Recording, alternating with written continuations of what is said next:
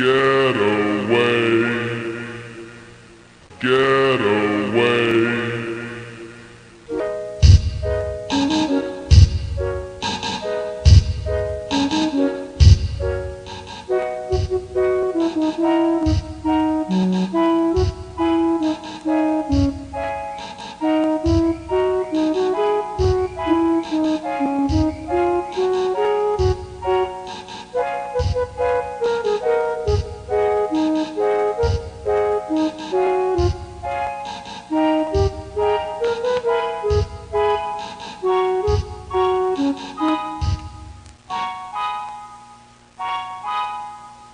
The token back to Brooklyn fell between the grating, and we're just watching it sinking.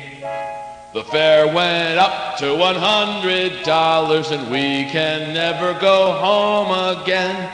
The fare collector's drinking lighter fluid and claims he killed our parents.